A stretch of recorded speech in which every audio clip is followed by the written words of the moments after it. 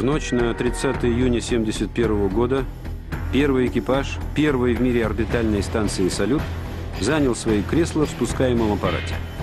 Космонавты Георгий Добровольский, Владислав Волков и Виктор Пацаев привязались ремнями и приступили к проверке бортовых систем корабля «Союз-11». Все параметры были в норме. Радиосвязь с центром управления полетом устойчивая. До встречи на Земле. Готовьте коньяк, пошутил Владислав Волков.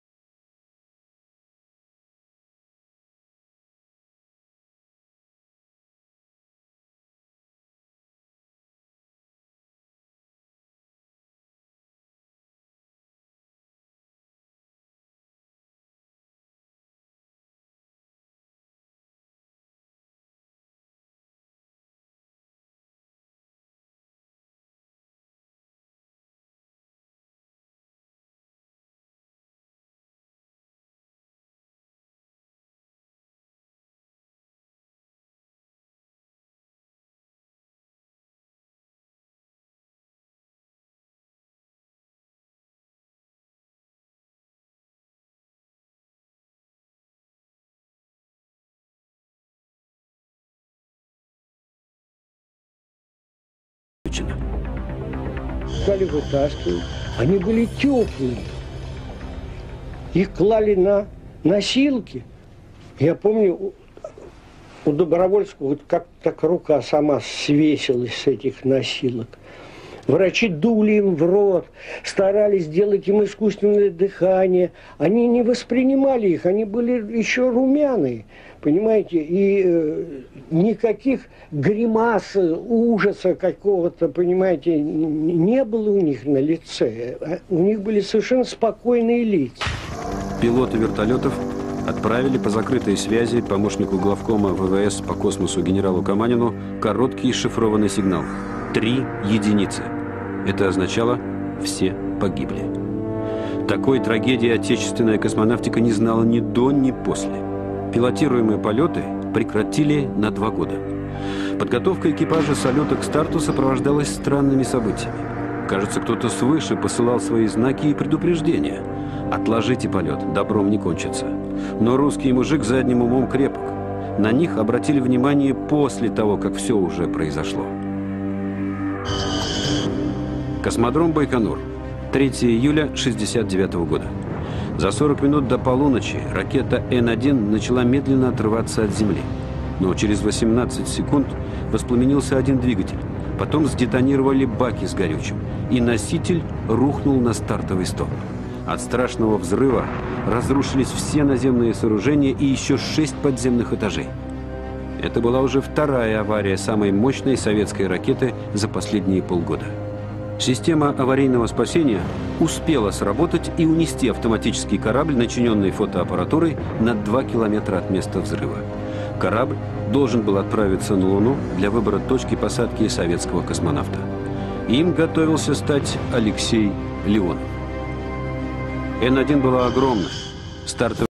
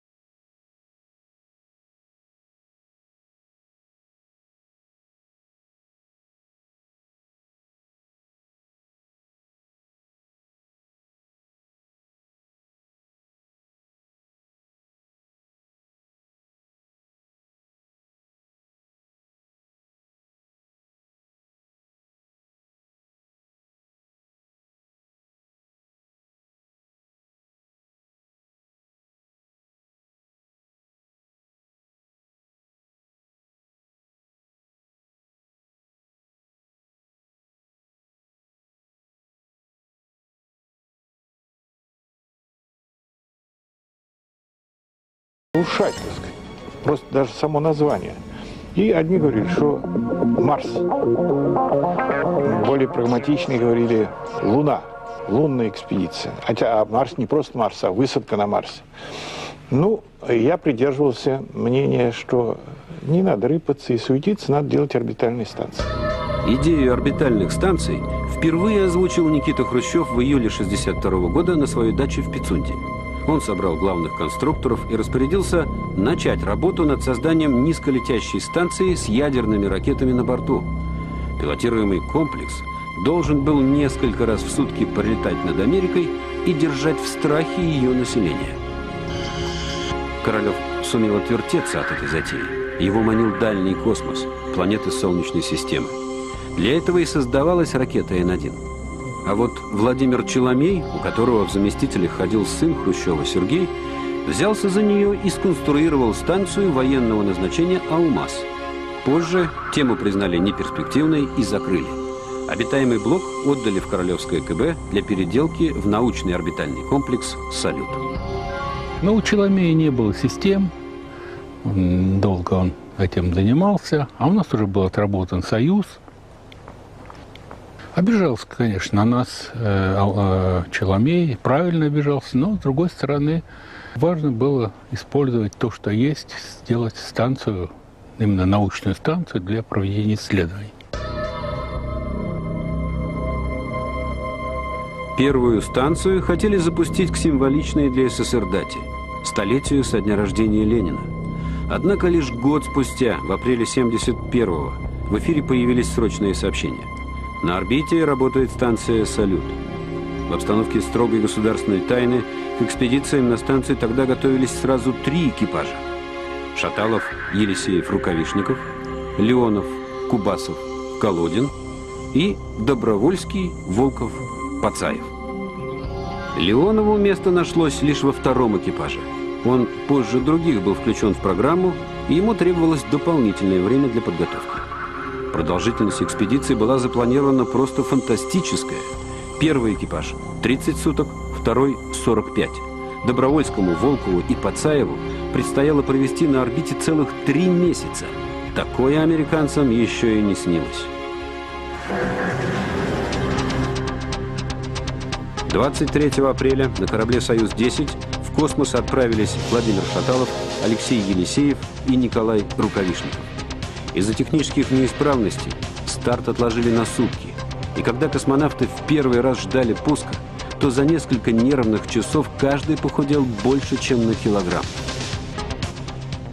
Конечно, э, в душе э, все очень напряглось, внутренне очень переживал. Но когда спустился вниз в лифте, я посмеялся, пошутил и отрапортовал, что значит, побил рекорд по точности приземления, где хотел взлететь, там приземлился. «Союз-10» состыковался со станцией, но стыковка оказалась неполной. Перейти на салют без скафандров было невозможно, а скафандров у космонавтов как раз и не было – эта деталь потом сыграет свою трагическую роль. Но корабль не мог и отцепиться от станции. Это грозило космонавтам неминуемой гибелью. Запасов кислорода не хватило бы и на два дня. Однако все обошлось. И вскоре Шаталов, Елисеев и Рукавишников вернулись на Землю. Их ожидала торжественная встреча. Через всю Москву космонавтов с почетом привезли в Кремль, где их встречали руководители страны. Вскоре здесь же, в Кремле, им вручили золотые звезды Героев Советского Союза за проявленные в полете мужество и героизм. Но о том, в чем именно заключался героизм космонавтов, знали лишь очень немногие. Как и то, что всей программы полета им выполнить не удалось. Советские неудачи в космосе тогда считались строгой государственной тайной. В газетах сообщили, что это была всего лишь репетиция перед следующей экспедицией – экспедицией «Союза-11».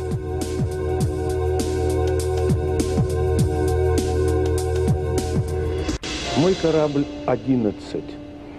Я космонавт номер 11, корабль 11. Я гордился этим и думал, что это судьба.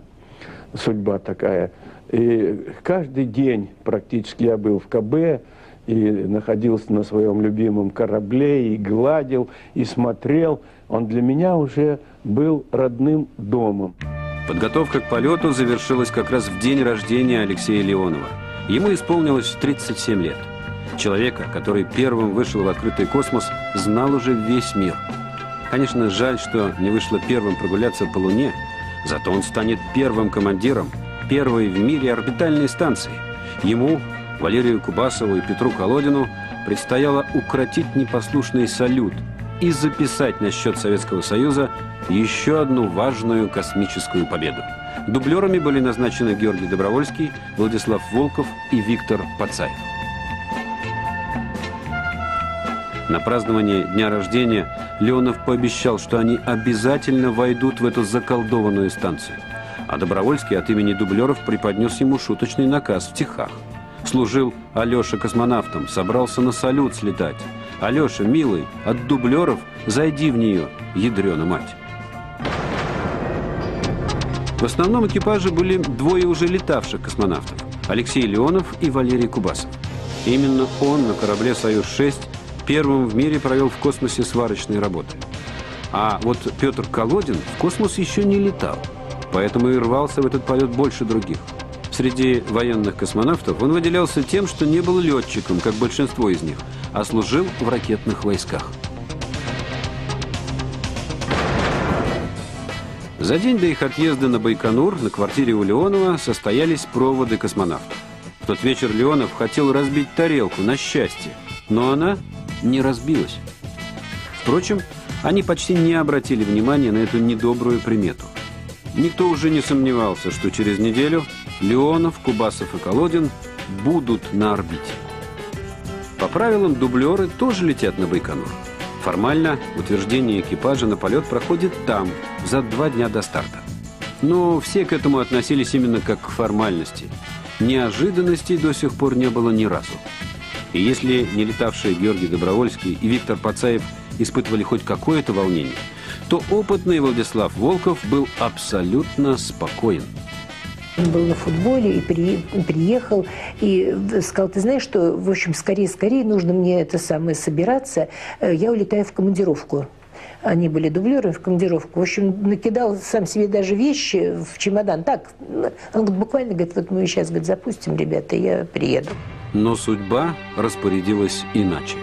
То, что произошло на космодроме в последние дни перед стартом, в советской космонавтике еще не случалось никогда. За трое суток нас всех подвергли рентгеноскопии. Так положено по технологии. Я прошел, Колодин прошел, э, дальше э, Кубасов, и врачи что-то забегали. Забегали. Вызвали нашего врача главного, показывает. И открыто ясно, и мне показывают как командиру, Алексей Архипович. Видите, вот здесь, я вижу потемнение, Лёг. Это был шок. Кубасов успешно проходил регулярные медицинские проверки, и вопросов к состоянию его здоровья никогда не возникало. И вдруг пятна в легких. Врачи даже подозревали туберкулез. Для уточнения диагноза времени не оставалось. Ясно одно – Кубасов в космос не летит. Ну, как быть с другими членами экипажа? Леоновым и Колодиным. Леонов предлагает включить в свой экипаж Владислава Волкова как самого опытного из дублеров. После неудачи с полетом на Луну Леонову очень хотелось стать первым командиром первой в мире орбитальной станции. Руководство тоже склонялось к такой замене. Но тут воспротивился Владислав Волков. Он говорил, что Леонов на него слишком давит. Ну, как я должен был поступать, как давление, сиди день и ночь. Ему не нравилось, он герой Советского Союза, известный парень, там, э, работник хороший, инженер, но по-другому я и не мог, кроме как жестко заставить его учить то, что надо за эти три дня. Волкова поддержали психологи. Они впервые выступили против мнения руководства ввести в основной экипаж замену. У нас как-то так принято, что их не принято спрашивать особо, а у них не принято, значит, встревать в, эту, в этот разговор, потому что, может быть, они думают, что посоветуют, а потом что-нибудь будет не так. Поэтому лучше постоять в стороне и, значит, потом критиковать это дело и говорить, что вот у них была не очень там хорошая психологическая совместимость, пятое-десятое. Впрочем, личные отношения между космонавтами не смогли сыграть в их дальнейшей судьбе решающей роли. Ее определяли в высоких кабинетах. Вопрос о том, кто полетит в космос, во многом был вопросом большой политики и результатом крутой интриги во властных кругах. За каждым из кандидатов в экипаже «Союза-11» стояли свои мощные партии. Военные продвигали команду офицеров – Леонова, Колодина и лишь одного штатского – инженера Волкова а партия гражданских болела за Добровольского, Волкова и Пацаева, двое из которых, Волков и Пацаев, не носили погоны. Между главным конструктором Василием Мишиным и помощником главкома ВВС по космосу, начальником всех космонавтов генералом Каманиным шла настоящая война –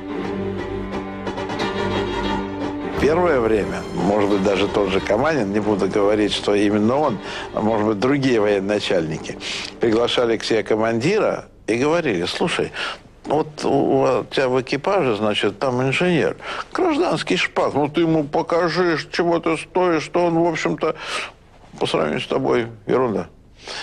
И наше начальство – нас настраивал, да покажи ты этому военному, значит, который ничего кроме дисциплины там честь отдавать не может, что такое настоящий инженер. Спор о том, кто в космосе полезнее – летчики-истребители или инженеры-проектировщики космических кораблей – начал еще Королев. Но довести его до логического конца ему помешала смерть на операционном столе. Извечная была борьба между военными и гражданскими. Когда меня назначали, никаких гражданских космонавтов не было. В момент моего назначения был оформлен отряд гражданских космонавтов. Я не знал, что это вызовет такую войну с Каманином. Он командовал космонавтами. Он стал царем и богом. Каманин не хотел э, подпускать гражданских в космос. Госкомиссия сделала выбор в самый последний момент, лишь за 11 часов до старта.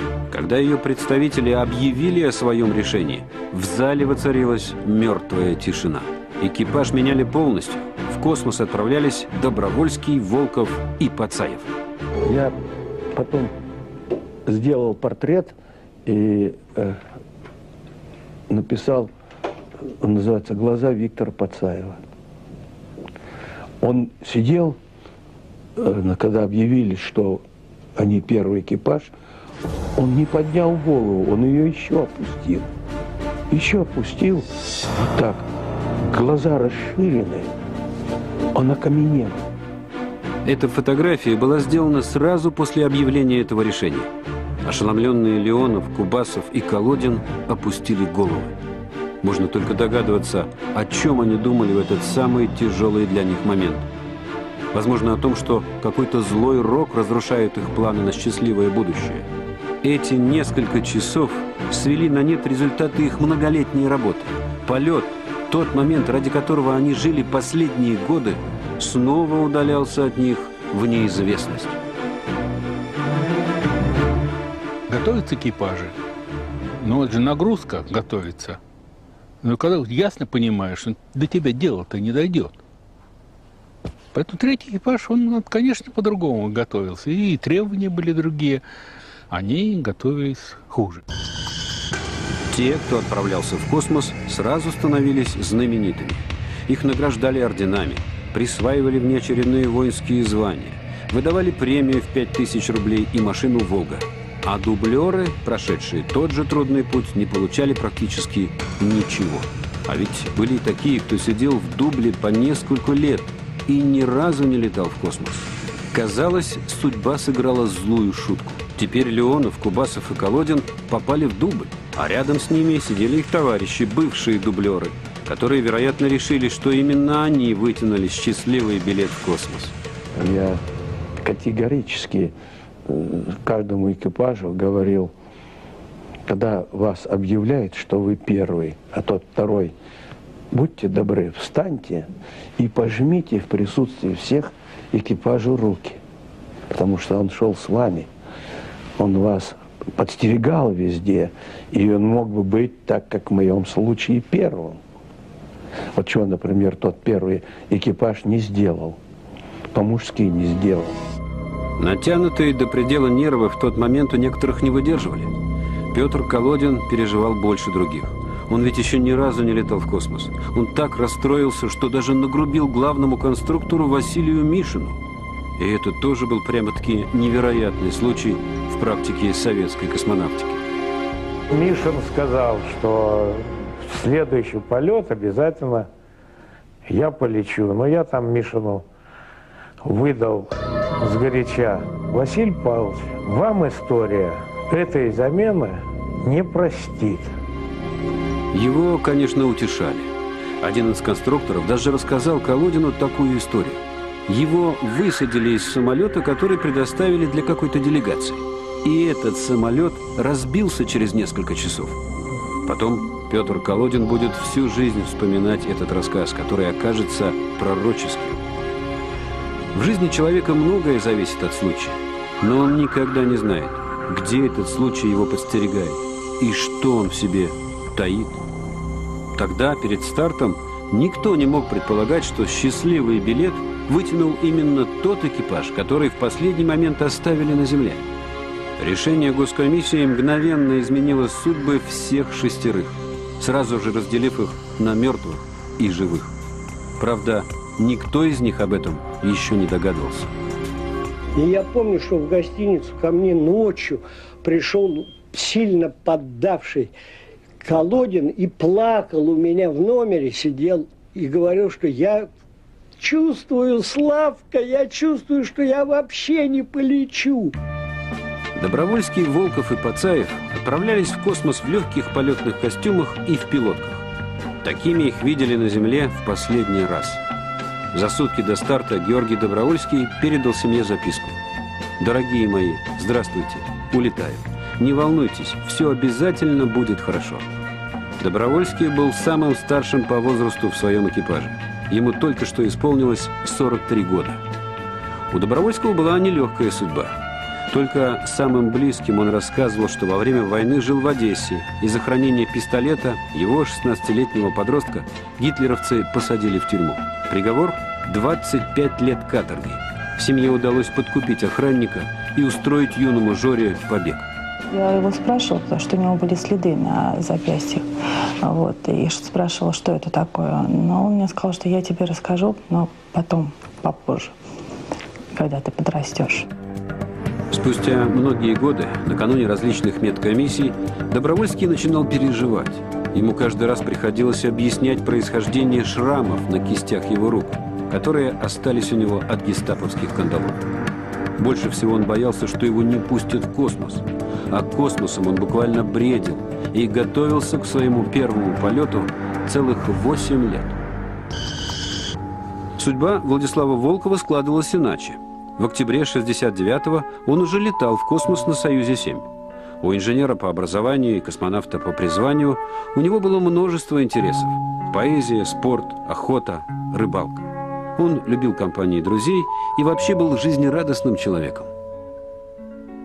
С Волковым мы просто дружили. Просто дружили. Мы с ним в дом Жур ходили, там я его водил к Роберту Рождественскому, помню, вечер у нас там был. Вот. И Волков был очень веселый парень, очень сильный физически. Футболист его вся. Прозвище было у него футболист, потому что он в МАИ играл в футбол. Но космос все-таки был для него выше всего остального. Недаром сосед Волкова по дому, его друг Юрий Никулин, подарил ему этот шарш на самого себя, а рядом написал «Как Волкова не корми, он все равно в космос смотрит». Тот первый полет на «Союзе-7» закончился неудачно. Стыковка с другим кораблем не удалась. И Волков обязательно хотел испытать судьбу еще раз. Тревожных мыслей всяких много было, потому что не, очень все неизведанно, все разговаривали, но, в общем-то, я понимала, что это бесполезно. И вообще я его не отговаривала. Я его не отговаривала. Он был человек очень самодостаточный, самостоятельный. Он мог поделиться, сказать, что вот у меня такое желание, все, но повлиять как-то Ну и вообще, если бы я могла повлиять, он бы не был космонавтом. Виктор Пацаев по специальности тоже инженер и тоже спортсмен. Он входил в сборную Российской Федерации по фехтованию. В отряд космонавтов попал, проработав несколько лет в КБ у Королева, потому что хотел испытать в полете те приборы, которые конструировал на Земле. На салюте Пацаев проводил научные эксперименты. Он, например, стал первым астрономом в мире, который работал выше земной атмосферы. Самый разгар полета космонавты отметили день рождения Виктора Пацаева. Ему тогда исполнилось 38 лет.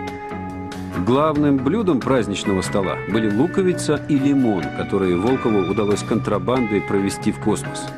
После протертой космической пищи это был ценный подарок. Луковицу и лимон честно разделили на три части. Вряд ли кто-то из них тогда думал, что день рождения они празднуют в последний раз в жизни.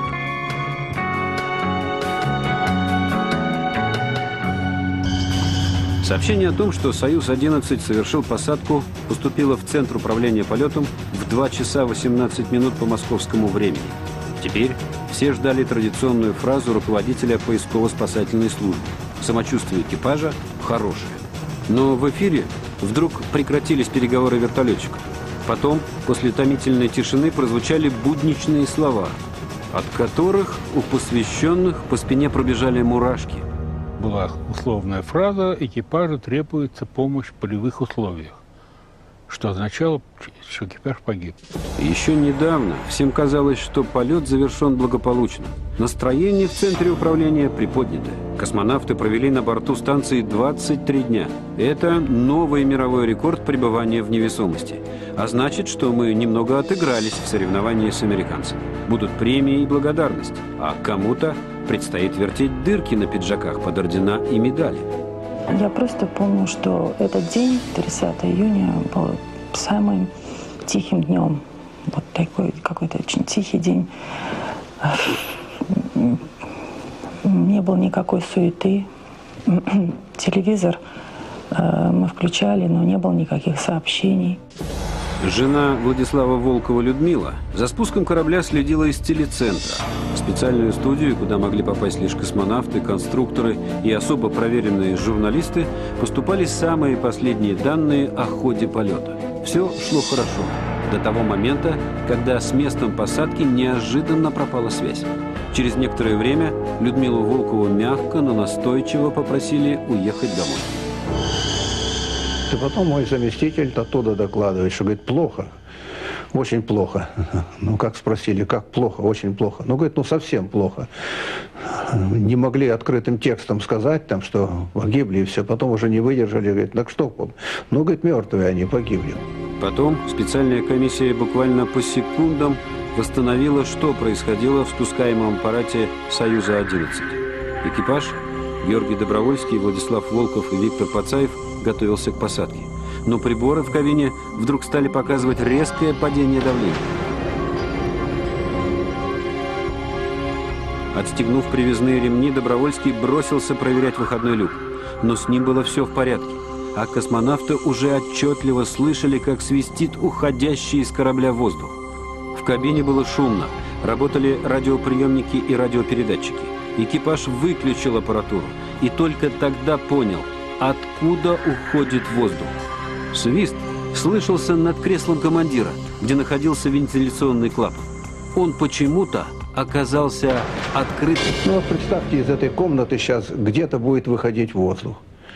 Где это? Под диваном, э, вон за шкафом, где-то там под столом или где. Так и там. Это же всего ну, 20-30 секунд. Медицинская экспертиза обнаружила у всех погибших следы кровоизлияния в мозг кровь в легких, повреждение барабанных перепонок. Растворенные в крови человека газы вскипели и, превратившись в пузырьки, закупорили сосуды. У Волкова сердце билось еще 80, у Добровольского 100, у Пацаева 120 секунд. Для того, чтобы его закрыть, э, кран, требуется 55 секунд здоровому человеку, зная, что это он а они через 20 секунд уже потеряли сознание.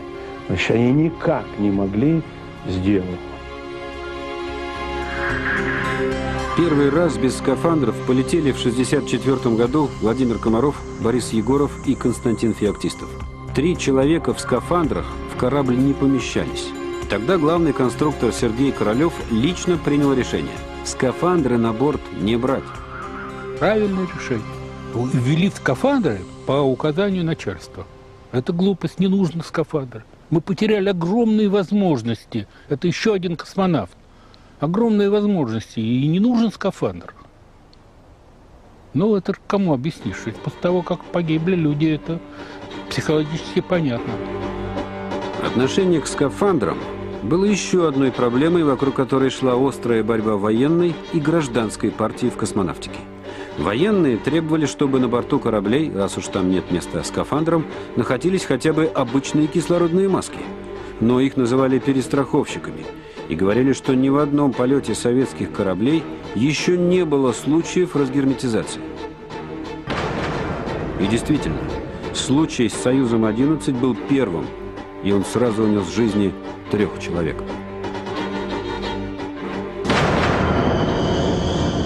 Два одинаковых клапана. Они не поняли, какой из них э, сработал. Они поняли, что какой-то открылся а у них появился туман сразу в, в кабине. Они отвязались от кресел и стали крутить клапан, но не тот. Если бы они стали закручивать тот клапан, они бы были живы. Результаты расследования причин аварии докладывались прямо в Кремль. Проверили все клапаны для других кораблей. Завод специально изготовил еще одну дополнительную партию. Провели около тысячи экспериментов. Однако ни в одном из них отказов не произошло. Отдельные руководители намекали, мол, виновата не техника, а неверные действия экипажа. Будь космонавты посообразительнее, они вполне могли бы заткнуть дырку пальцем. Это глупость абсолютная. Подлая политика красных директоров. Снять с себя ответственность и бросить. Это невозможно даже туда пальцем проникнуть, поскольку клапаната под панелью. Туда нельзя было. Сто процентов отменяется вина экипажа. Они действовали абсолютно по инструкции. Ну а спецслужбы тут же начали отрабатывать версию сознательного вредительства. В обстановке острейшего противостояния и борьбы за лидерство на Земле, под водой или в космосе она выглядела вполне логично. Ну, здесь погибли большие материальные средства, большие затраты. КГБ приехала туда проверять. Однако и эта версия не нашла подтверждения. Свою роль сыграло элементарное разгильдяйство на производстве. Когда стали проверять техническое состояние «Союза-11» и предыдущих кораблей, выяснилось, например, что многие гайки были просто не закручены так, как этого требовали инструкции. Когда начали проверять те корабли, э, на которых э, значит, прилетел Добровольский, Волков-Пацаев, оказалось, что значит, эти гайки там закручены буквально чуть не от руки. Где-то гайки докручены там одна на 20 килограмм, другая 30, третья 50, а четвертая, в общем, вообще на нуле там. А если он еще он подставлен, клапан, в такие условия, когда не докручено, когда он там болтается, э, в этом, так сказать, он мог и отказать. Но все это станет известно только потом. Тогда же утром 30 июня врачи еще полтора часа после посадки пытались вернуть космонавтов к жизни. Им делали искусственное дыхание и даже вливали донорскую кровь. Все было напрасно. Семьям Добровольского, Волкова и Пацаева сообщили о гибели космонавтов. Беспокойство уже какое-то внутренне шло, что вообще-то это все... Обычно должно тоже сказать, что все, мягкая посадка, приземлились, знаете, поздравления шли, а телефон молчал. Телефон молчал и тоже очень настораживал. На следующий день все газеты вышли с черными траурными рамками. Прощание с космонавтами проходило в Центральном доме Советской Армии. Из-за огромного наплыва народа церемонию пришлось продлить на несколько часов. Мы нарвали букет на Байконуре полевых цветов и приехали на похороны. И я помню, Коля Рукавишников – стоял где-то перед ну, залом с гробами. И жутко такой зареванный тоже и говорил, ну вот, мы уже целыми экипажами хороним. Понимаете? Это было потрясение, конечно.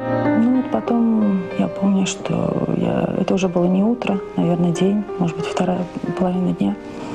Я была в своей комнате, и открывается дверь, и заходит мама Терешкова Валентина Владимировна. И мама мне сказала, что Мариночка, наш папа погиб.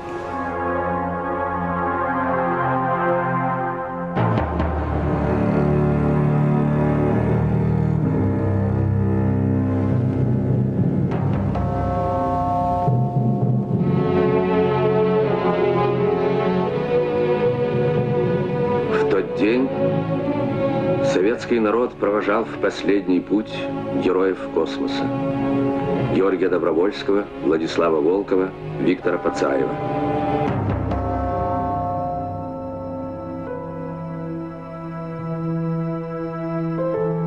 Урны с прахом экипажа «Союза-11» замуровали в Кремлевскую стену. Прощаться с космонавтами прибыло и все советское руководство во главе с Брежневым. Члены Политбюро говорили семьям слова утешения, но вряд ли они тогда хорошо понимали их.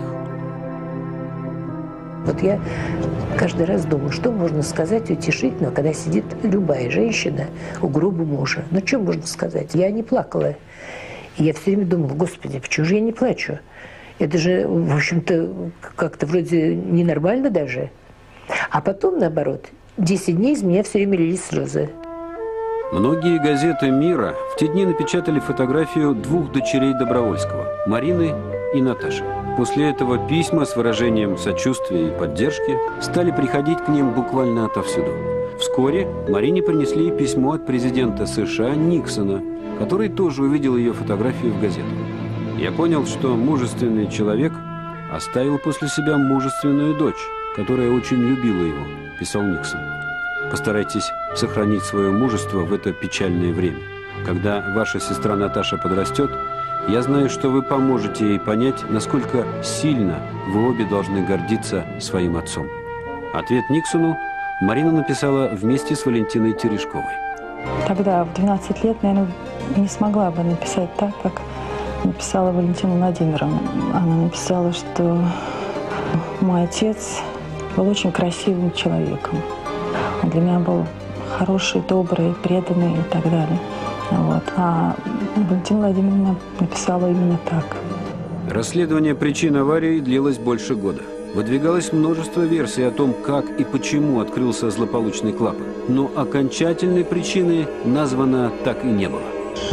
Когда накануне того злосчастного полета комиссия зачитала решение о замене экипажей, главный виновник случившегося Валерий Кубасов сказал своим друзьям, «Ведь все это только простуда, через неделю на рентгене уже ничего не будет». И он оказался почти прав. О гибели Добровольского, Волкова и Пацаева Кубасов узнал в Москве, уже официально здоровым человеком. Пришли к выводу, что это было аллергического характера потемнение легких. Реакция организма была весна, на, то ли на цветение, то ли еще на что-то. В общем, аллергия. Потом Кубасов еще дважды побывал в космосе, в том числе и вместе с Алексеем Леоновым в составе советско-американского экипажа «Союз Аполлон». Их кандидатуры одобрил сам Брежнев. Но трагедия корабля «Союз-11» не дает покоя ни Кубасову, ни Леонову до сих пор. Меня э, больше всего угнетало и до сих пор угнетает то, что они погибли на моем корабле. Это мой корабль. Я могу и говорил, и говорю, потому что я с чертежей там был в этом корабле. Петр Колодин после гибели Союза испытал сильнейший шок. У него даже появились проблемы со слухом. Петр, когда все это произошло, он очень плакал, приехал ко мне и говорит, Люсь, почему я, почему не я? Лучше бы я. У него не было детей, тогда все, у нас ребенку было 13 лет. Я говорю, Петя, у каждого своя судьба. Его судьба оказалась и счастливой, и несчастливой одновременно. Подозрительный рентгеновский снимок легких Кубасова подарил ему и его товарищам по экипажу жизнь, но не пустил Колодина в космос. Его предчувствия сбылись. Он еще долго готовился к новым полетам, но остался дублером навсегда.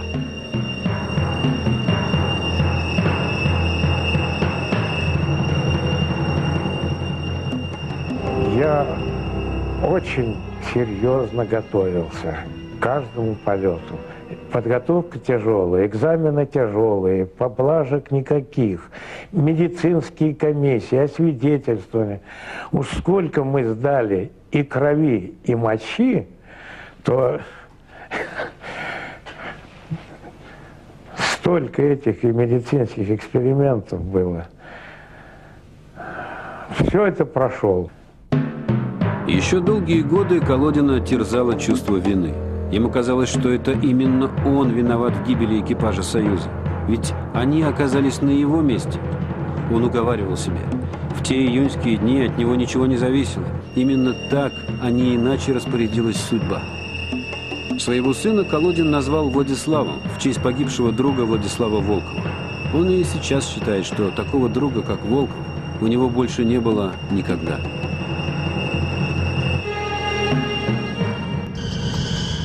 После аварии «Союзы» дорабатывали долгих два года. Все это время в космосе не побывало ни одного советского космонавта. Старт следующего пилотируемого корабля «Союз-12» прошел только в сентябре 1973 года. Экипаж снова пришлось сократить до двух человек. Но зато в космос они отправились в новых полетных скафандрах. С тех пор скафандры всегда находятся на борту кораблей. Значит, то, ради чего они отдали свою жизнь, это дело продолжается.